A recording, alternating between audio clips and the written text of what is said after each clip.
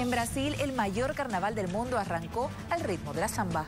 El Carnaval de San Paulo abrió este viernes sus puertas al mundo y lo hizo rendido a los pies de la Virgen de Aparecida, la patrona del país, quien, como recordó una samba, lleva 300 años llenando de amor y fe el corazón del pueblo brasileño.